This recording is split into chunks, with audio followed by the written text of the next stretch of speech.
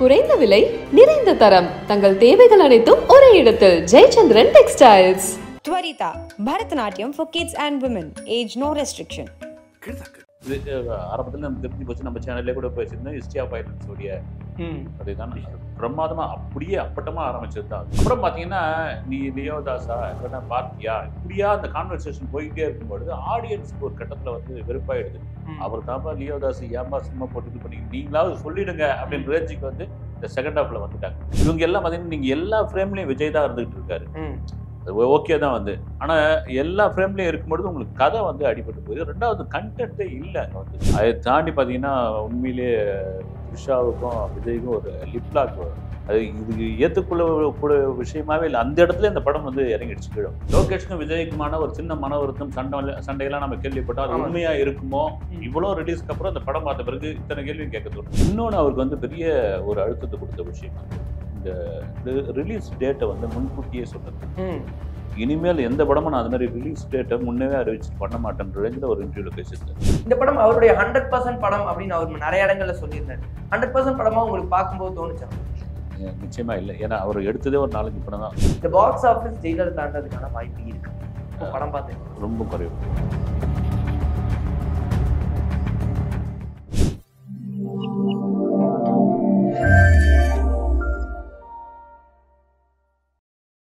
வணக்கம் மக்கள் is விஜய் பிரணேஷ் நீங்க பார்த்துட்டு இருக்கிறது டெக் ஒன் தமிழ் இன்னைக்கு என் கூட இருக்கிற சிறப்பு விருந்தினர் யாரு அப்படின்னா சினிமா விமர்சகர் மற்றும் மூத்த பத்திரிகையாளர் செய்யார் பாலு அவர்கள் இருக்காரு. அவர்கிட்ட லியோ சம்பந்தமா நிறைய பேச வேண்டியது இருக்கு. வாங்க பேசலாம். வணக்கம் சார். வணக்கம் சார். அதாவது கிட்டத்தட்ட ஒரு ஒரு வருஷமா இந்த படத்தை பத்தியே ஃபுல்லா எல்லாரும் பேசி ஒவ்வொரு அப்டேட்டுக்கும் சந்தோஷப்பட்டு இப்ப அந்த படம் ரிலீஸ் ஆயிருச்சு. நீங்களும் பார்த்திருப்பீங்க. உங்களுக்கு படம் எந்த அளவுக்கு பிடிச்சிருந்தது? அதாவது வந்து நீங்க சொல்ற மாதிரி ஒரு வருஷம் அதிகமா பேசுறது நானா கூட இருப்பேன் கமெண்ட்ஸ் எல்லாம் வந்து திட்டு திட்டு திட்டாங்க எப்பயா இந்த ஆளுக்காவது படம் சீக்கிரமா ரிலீஸ் ஆகட்டும் அப்படின்ற ரேஞ்சுக்கு வந்து போட்டு வெளுத்துக்கிட்டு இருந்தாங்க அது காரணம் என்னன்னா வந்து இங்க தமிழ்நாட்டுல ஏகப்பட்ட பஞ்சாயத்துகள் அதுவும் ஆடியோ லான்ச்ல இருந்து குறிப்பா அந்த நாலு மணி காட்சி இல்லை ஆறு மணி காட்சி ஏழு மணி காட்சி இல்லை ஒன்பது மணிக்கு தான் அப்படின்னு சொன்ன உடனே ஆமா. இங்க இருந்து ஃபேன்ஸ் எல்லாம் திருக்க ஓடினாங்க ஒரு. பக்கம் கர்நாடகா இன்னொரு பக்கம் ஆந்திரா கேரளா. கேரளா கேரளா. ஓடிட்டாங்க. நான் அது மாதிரி கர்நாடகா ஓடின ஆள் தான் நான் வந்து. நாலு மணி காட்சி அப்படி பார்த்துடணும் அப்படின்னு பெங்களூருக்கு போயிட்டு பார்த்தோம்.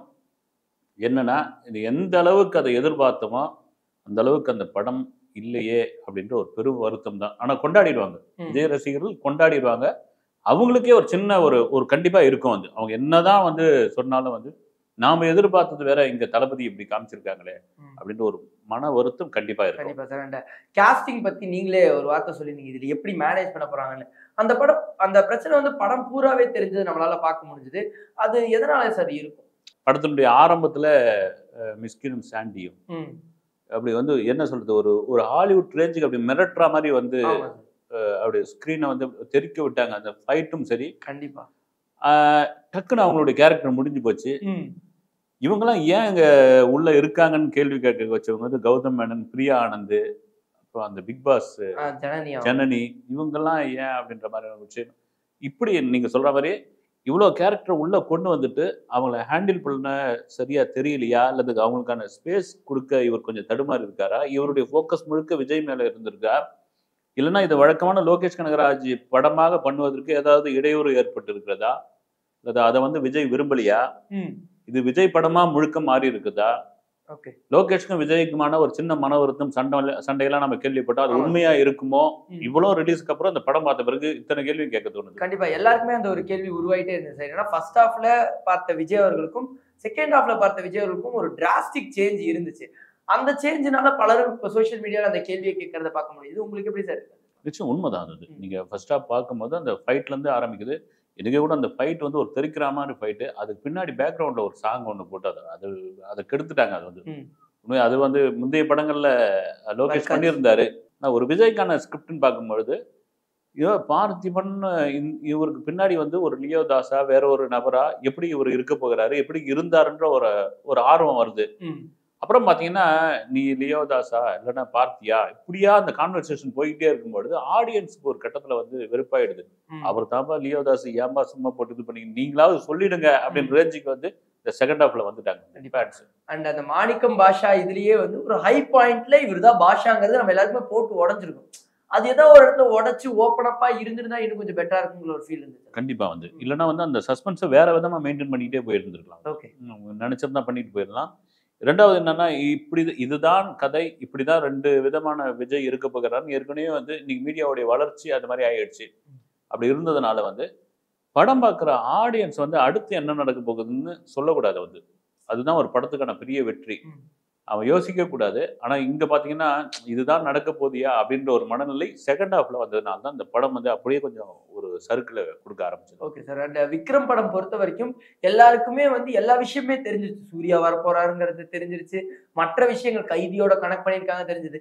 எல்லாம் தெரிஞ்சாலுமே விக்ரம் படம் ஒரு கட்டுக்கோப்பா எல்லாருமே உட்கார வச்சது. ஆனா அந்த ஒரு விஷயத்துல லியோ தவறுச்சுன்னு நினைக்கிறீங்க கண்டிப்பா வந்து. ம். நீங்க நீங்க கரெக்டா சொன்னீங்க நீங்க. ஒரு லியோ விக்ரம்ல வந்து ஃபர்ஸ்ட் ஆஃப் முழுக்க வந்து பகத் பாசில் தான் ஹீரோவா ம். இருப்பார். ஒரு இன்ட்ரோல் பிளாக்ல இருந்து தான் வந்து கமலஹாசன் உலக நாயகன் அப்படின்னு சொல்லக்கூடிய அவர் வந்து ஒரு ஒத்துக்கிட்டு எப்படி அவர் ஒத்துக்கிட்டாரு? இன்ட்ரோலுக்கு அப்புறம் ஒரு ஹீரோ வந்து அதுவும் அந்த படத்தினுடைய தூணி அவர் தான் அவர் வரார் அப்படின்போது அந்த ஸ்கிரிப்ட் மேல ஒரு நம்பிக்கை. இன்னொன்று பார்த்தீங்கன்னா நீங்கள் அதில் வந்து விஜய் சேதுபதி இருப்பார் மற்றபடி சூர்யா இருப்பார். ஆமா. நீங்கள் வந்து சூர்யா வந்து இதுக்கு முன்னே எத்தனை படம் நடிச்சிருந்தாலும் சிங்கம் நடிச்சதுக்கு அப்புறம் அவர் எங்கே போனாலும் வந்து சிங்கம் சிங்கம் கூப்பிடலாம் ஆரம்பிச்சாங்க. ஒரு கேமியோ ரோல் பண்ணதுக்கே பார்த்தீங்கன்னா போகிற இடம் கூட இன்னைக்கு வரைக்கும் ரோலக்ஸ் தான் தான் ம். அப்படி எல்லாருக்குமான ஒரு ஸ்பேஸ் அந்த முக்கியத்துவம் அதை தாண்டி அது ஒரு சின்ன லைன் தான். அது ஒரு ஸ்க்ரீன் பிளேல ஒரு மேஜிக் பண்ணி ஒரு சீன் ஆர்டரை மாற்றி எடுத்த ஒரு விதம். அதை தாண்டி லோகேஷ் கனகராஜனுடைய அந்த ஐடியாவுக்கு உலகநாயகன் கமலஹாசனுடைய கமலஹாசன். அனுபவம்னு ஒன்று இருக்கு இல்லைங்களா? அதுவும் ரெண்டு சேர்ந்ததுனால தான் அது வேற விதமான ஒரு படமா மாறுச்சு. கண்டிப்பா சார். அண்ட் பாக்ஸ் ஆஃபீஸ் ப்ரெஷருமே ஒரு ஃபீல் இருந்துட்டே இருந்தது சார். அதாவது படத்தை பொறுத்த வரைக்கும் இந்த ஒரு பாக்ஸ் ஆஃபீஸ் தொடருங்கிற ஒரு ப்ரெஷர் ஆரம்பத்திலே இருந்துட்டு இருந்தது. அது ஒரு காரணமா இருக்குமா? இந்த படம் கொஞ்சம் மிஸ் ஆனதுக்கான இல்ல பாக்ஸ் ஆஃபீஸ் ப்ரெஷர் ஒரு பக்கம் ஆமா அவர் அவர் இன்டர்வியூலேயே அவரை கேட்டிருந்தாங்க வந்து லோகேஷ் கனகராஜன் வந்து இது வந்து ஆயிரம் கோடி தடுமா? அப்படின்னு. இல்லை இது ஆயிரம் கோடி ஐநூறு கோடின்னுலாம் விட்டுட்டு நூத்தி தொண்ணூறுரூவா நூற்றி ஐம்பது ரூபா கொடுத்து படம் பார்க்குற என்னுடைய ரசிகனுக்கு அந்த காசு ஒர்த்துன்ற அளவுக்கு இந்த படம் இருக்கும் அப்படின்னு சொல்லியிருந்தாரு. இன்னொன்று அவருக்கு வந்து பெரிய ஒரு அழுத்தத்தை கொடுத்த விஷயம் வந்து இந்த ரிலீஸ் டேட்டை வந்து முன்கூட்டியே சொன்னது தான் இனிமேல் எந்த படமும் நான் அது மாதிரி ரிலீஸ் டேட்டை முன்னவே அறிவிச்சிட்டு பண்ண மாட்டேன்ற ரேஞ்சில் ஒரு இன்டர்வியூவில் பேசியிருந்தார். ஓகே. அது பயங்கரமான ப்ரெஷர் நீங்க அதுவும் வந்து விஜய் மாதிரியான ஒரு மாஸ் ஹீரோ ஒரு அறுபது நாள் வந்து காஷ்மீர்ல படப்பிடிப்பு இவ்வளோ ஆர்டிஸ்ட் ஒரு நெருக்கடி கடைசி நேரத்துல தான் வரும். வந்து ம். எப்பவுமே. அவர் லோகேஷ் கனகராஜ் எந்த அளவுக்கு ப்ரெஷர் இருந்ததுன்னு நான் தெரிஞ்சுக்கிட்டேன்னா அவர் தொடர்ச்சியா அந்த சேனல்களில் பேட்டி கொடுத்தாரு. ஒரு சே ஒரு ரெண்டு மூணு சேனல்ல பார்த்தேன். இந்த ஹாப்பி பால் ஒன்று இருக்குல்ல அதை வச்சு கையில ப்ரெஷர் பண்ணிக்கிட்டு இருந்தாரு. ஓகே. நீங்க கவனிச்சு பாருங்க நீங்க ஒன்றா வந்து. இந்த எல்லோ கலர் பால் இருக்கு இல்லைங்களா? அந்த அளவுக்கு ஏன்னா எப்படியும் வந்து ரிலீஸ்க்கு முன்னாடி கதையை சொல்ல போறது இல்லை விஜயோட கேரக்டர் என்னன்னு சொல்லி முடிக்க போறது இல்லை. ஒரே கேள்விதான் ரிப்பீட் வந்து எல்லா இது எல்லா தரப்புல இருந்தும் வந்துகிட்டே இருக்கும். அதுல எடுக்கிறவங்க அனுபவசாலியா இருப்பாங்க. இல்லைன்னா லோகேஷ் யாருன்னு தெரியாதவங்க கூட இருப்பாங்க. அவங்க ஒரு டைரக்டரோட மனநில இருக்கும். எல்லாருக்கிட்டையும் ஒரு பணிவா ஒரு ரியாக்ஷன் காமிக்க வேண்டியது இருக்கும். அதை தாண்டி ஒரு ப்ரெஷர் ஒன்று இருக்கும். அதை ரிலாக்ஸ் பண்ணிக்கிறதுக்காக அந்த ரிலாக்ஸ் பாலை வந்து அவர் அழுத்திக்கிட்டு இருந்தாரு. எல்லாமே ஒரு டைரக்டர் மேல தான் வரும் வந்து. அதுவும் குறிப்பா அந்த அக்டோபர் பத்தொன்பது அப்படின்ற முன்கூட்டியே அறிவிக்கப்பட்ட அந்த தேதி அவருக்கு பயங்கர ப்ரெஷரை கொண்டு வரும் ஓகே சார் ஆனா எந்தெந்த விஷயங்கள் நம்ம பேசலாமா சார் பிகாஸ் ஒரு சில டயலாக்குமே வந்துட்டு போலீஸ் ஸ்டேஷன் டயலாக்லாம் கொஞ்சம் ஃபிட்டின் பண்ண மாதிரி தான் இருந்துச்சு. எந்தெந்த விஷயம் உங்களுக்கு அந்த மாதிரி தோணுச்சு? இல்ல இல்ல. உங்களுக்கு என்னன்னா அஹ், நீங்க இவ்வளவு கேரக்டர் கொண்டு வரும்பொழுது எல்லாம் அஹ், ஒரு கேரக்டர் நம்ம விக்ரம்ல பேசுன மாதிரி தான் வந்து விஜய் சேதுபதி கொஞ்ச நேரம் வர சூர்யா இவங்களுக்குலாம் ஒரு முக்கியத்துவம். இவங்க எல்லாம் பார்த்தீங்கன்னா நீங்க எல்லா ஃப்ரேம்லயும் விஜய் தான் இருந்துகிட்டு இருக்காரு. அது ஓகே தான் வந்து. ஆனா எல்லா ஃப்ரேம்லயும் இருக்கும்பொழுது உங்களுக்கு கதை வந்து அடிபட்டு போகுது. ரெண்டாவது கண்டென்ட்டே இல்லை அங்க வந்து. சஞ்சய் தத்துன்ற ஒரு ஒரு ஜெய்ஜாண்டிக்கான ஒரு அது சஞ்சு பாய் அப்படின்னு பாலிவுட்ல கொண்டாடுற. அப்புறம் கொண்டு வந்து கொஞ்ச நேரம் நிக்க வச்சுட்டு பேஸ் பண்ணியிருக்காங்க. ஆக்ஷன் அர்ஜுன். அர்ஜுனுக்குலாம் வந்து என்னையா இது அப்படின்ற மாதிரியான ஒரு விஷயம் இருக்கு. இது மாதிரி நிறைய அப்புறம் அந்த ஜார்ஜ் கேரக்டர் அந்த. போலீஸ்காரர் வரல அதெல்லாம் வேணும்னே கொண்டு வந்து அந்த எல்சியூக்குள்ள திணிக்கிற மாதிரியான ஒரு விஷயமா இருந்தது அப்படிலாம் வந்து தமிழ்நாடு போலீஸ் தான் வேணும்லாம் லாஜிக்காக நீங்கள் பேசுறது நிறைய லாஜிக் மிஸ்டேக் இருக்கு. நம்ம ஒரு கமர்ஷியல் படத்துல நீங்க லாஜிக் அப்படிலாம் போய் பார்க்கக்கூடாதுங்க அப்படின்லாம் சொன்னாலும் இன்னைக்கு சினிமா பார்ப்பவர்கள் ஓடிடி தளம் மொபைல் உலக படங்கள் இதையெல்லாம் பார்த்தவங்க வேற லெவல்ல இருக்காங்க. நீங்க அவங்கள ஏமாத்தவே முடியாது. கண்டிப்பா. ஆமா ஒரு நீங்க ஒரு உதாரணத்துக்கு சொல்லணும்னா ஒரு காட்சி சிம்லாவில் ஒரு ஒரு போலீஸ் அதிகாரி இல்லை இன்ஸ்பெக்டர் அவர்கிட்ட போய் எனக்கு போலீஸ் ப்ரொடக்ஷன் கொடுங்க என் வீட்டுக்கு அப்படின்னு கேட்கறது வந்து அவருக்கான இது இல்லை. அதே இடத்துல அவரை பிடிச்சி அப்படி தூக்கி நிறுத்திட்டு அந்த போலீஸ்லாம் பார்த்துக்கிட்டாங்க அடுத்த ஷாட்ல அவர் கழுத்தை தடவிட்டு கம்முன்னு உட்காந்துட்டு இவர் உட்காந்துட்டு இருக்காரு. இது வந்து நம்பகத்தன்மை இல்லாத ஒரு விஜய்க்காக வைத்த மாதிரியான இருந்தாலும் சாதாரண உள் இங்க சொந்த ஸ்டேட்ல இருக்கிற போலீஸே நீங்க கை வச்சிட முடியாது ஆமா. நீங்க அதர் ஸ்டேட்ல நீங்க என்ன இது பண்ணிக்கிட்டு இருக்கீங்க ஏது அப்படின்ற ஒரு விஷயம் இல்லை அதே போல பாத்தீங்கன்னா ம- கௌதம் மேனன் வந்து அவர் ஃபாரஸ்ட் ஆபீசரா ரேஞ்சரா எதுன்னு தெரியல அவர் லா லா அண்டர் ஆர்டர் பிரச்சனைலாம் வந்து அவர் வந்து தலையிட்டு இது பண்ணிட்டு இருக்காரு. இது மாதிரியான விஷயங்கள் வந்து படம் பார்க்குறவங்க ஆயிரத்தி எட்டு கேள்வி கேட்பாங்க. கண்டிப்பா sir. கண்டிப்பா கேட்பாங்க. இப்போ வாரிசு படத்தை வந்து ஒரு தெலுங்கு டைரக்டர் எடுக்கும்போது அவர் வந்து ஓகேப்பா அவர் தெலுங்குல இருந்து வந்திருக்காரு. ஒரு சில லாஜிக் மிஸ்டேக்ஸ் எல்லாம் அங்க பார்க்க மாட்டாங்க அதனால சொன்னாங்க. ஆனா லோகேஷ் கனகராஜ் அவர்கள் கமர்ஷியல் படம் எடுத்தாலுமே அவர் ரொம்ப கான்சியஸா இருப்பார். கைதியில வந்து தில்லிக்கு கன் யூஸ் பண்ண தெரியாது. விக்ரம்ல அந்த மாதிரி நிறைய விஷயம் வச்சிருந்தாரு. அந்த ஒரு விஷயமே லியோல மிஸ் ஆச்சு. நிச்சயமா வந்து.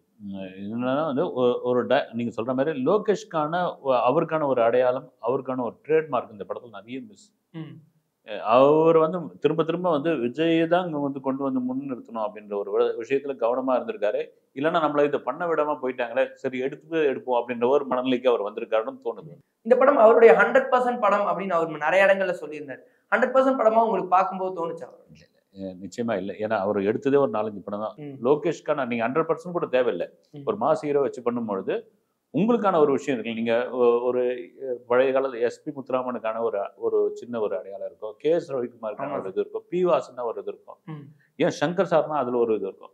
இந்த மாதிரியான ஒரு ஒரு ஒரு முத்திரையை வந்து லோகேஷ்க்கு இருக்கு. அதுல இந்த படத்துல நிறைய மிஸ்ஸிங் இருக்கு. எமோஷன்ஸாவும் பார்க்கும்போது கைதியில வந்து அந்த ஒரு காலை அந்த காலத்துல போடுற தோடை மிதிக்கும் போது நமக்கும் அந்த ஒரு கோபம் வரும். அதே மாதிரி விக்ரம்ல அந்த பாட்டில் அந்த பால் பாட்டில் உள்ள இருக்கும்போது நமக்கு அந்த பதபதப்பு இருக்கும். அந்த விஷயம் ஆனா வந்து லியோல மிஸ் ஆன மாதிரி எனக்கு ஒரு ஃபீல் இருந்து உங்களுக்கு அந்த மாதிரி தோணுச்சு? உண்மையா நான் வந்து நீங்க வந்து சொன்ன மாதிரி எமோஷனல் வந்து கனெக்ட் பண்ணுவார். சென்டிமெண்ட் வந்து கரெக்டா லோகேஷ் சேர்த்துருவார்னு பார்த்தா அதுக்கு நிறைய இடம் இருந்தது. அவர் ஏன் அதை மிஸ் பண்ணிட்டாருன்னு தெரியல வந்து. அது நம்ம என்ன நான் சொல்லும்போது என்ன வந்து விமர்சனமா வரும்னா இப்போ வந்து கதாநாயகியை போட்டு தள்ளிக்கணும்னு எதிர்பார்த்தீங்களா? இல்லை பிரியானந்த கொண்டுன்னு எதிர்பார்த்தீங்களா? இந்த மாதிரி அப்படிலாம் ஒன்றும் கிடையாது. நீங்கள் சொன்னது தான் வந்து. ஒரு சின்ன தோடு அது மிதிக்கும் போது அவ- அந்த அந்த நபருக்கு ஏற்படுற ஒரு உணர்வு தான். அந்த ஆடியன்ஸ் அதுதான் இந்த படம் வந்து கனெக்ட் ஆகலன்ற. ஒரு ஒரு ரெண்டு பசங்களோட ஒரு அன்பான ஒரு வாழ்க்கை வாழ்ந்துட்டு ஒருத்தனை வந்து தொந்தரவு பண்ணிக்கிட்டே இருக்கிறாங்க. நீ தான் லியோன்னு ஒத்துக்கொண்டு அந்த இடங்கள்ல வந்து அவன் லியோவா எந்த இடத்துலையும் நம்ம இல்லைன்னு அவன் வந்து நிரூபிச்சுக்கிட்டே இருக்கிறான். அவன் ஃபேமிலி சந்தேகப்பட்டிருந்த இடத்துல கூட நீங்கள் வந்து ஒரு எமோஷனலையும் ஒரு சென்டிமெண்ட்டையும் கொண்டு வந்து சேர்த்துருக்கலாம். அது மாதிரி நிறைய காட்சிகள் இருக்கு. ஏன் அதை வந்து லோகேஷ் அதுல கவனம் எடுத்துக்கலன்னு தோணுது? அண்ட் கேரக்டர் ரைட்டிங்கா பார்க்கும்போது எனக்கு தெரிஞ்சு இந்த படத்துல விஜய் அவர்களுக்கு வந்து நிறைய வித்தியாசங்கள் கொடுத்துருந்தாங்கன்னு தோணுச்சு. அதாவது செகண்ட் ஹாஃப்ல வரல நான். ஃபர்ஸ்ட் ஹாஃப்ல அந்த பார்த்திங்கிற கேரக்டரா வரும்போது நிறைய டிஃபரன்சஸ் இருந்த மாதிரி தோணுச்சு.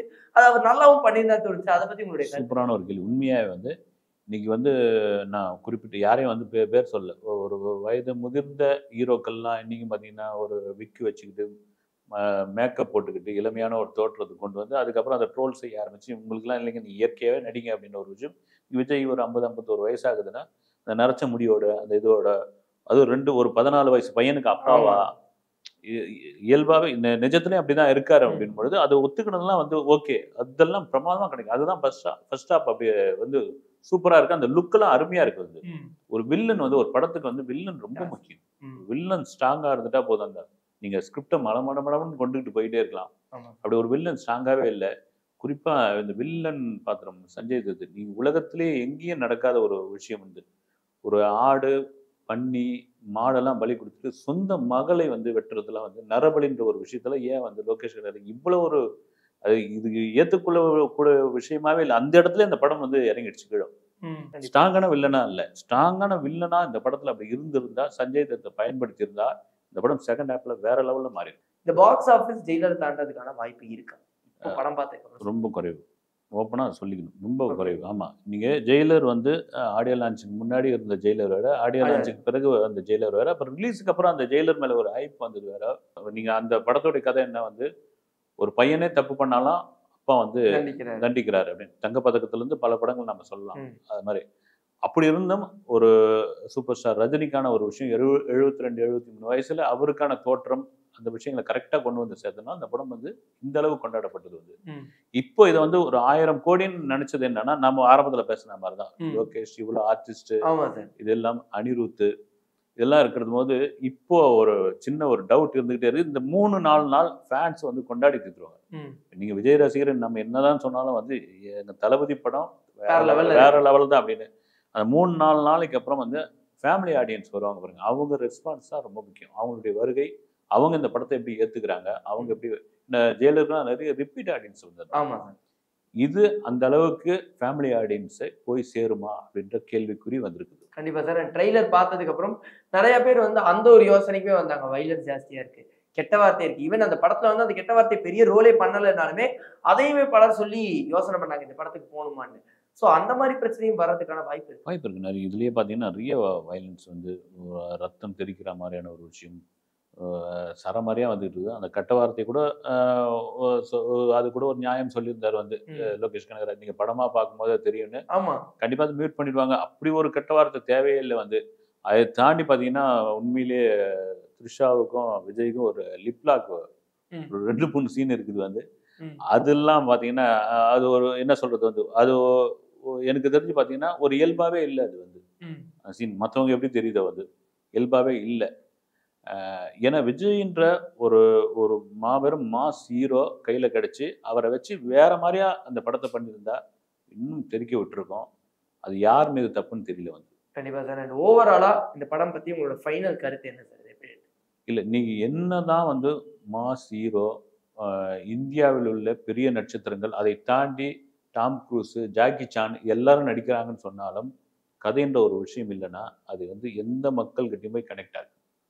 கதை தான் முக்கியம். கதை இருந்தால் மட்டும்தான் வந்து நீங்கள் எவ்வளோ அலங்காரம் பண்ணாலும் கண்டென்ட் ரொம்ப முக்கியம். அது இந்த லியோ படத்தில் தவறி இருக்கிறது. ஓகே சார் இந்த ஒரு சந்திப்புக்கு ரொம்ப ரொம்ப நன்றி சார். வணக்கம்.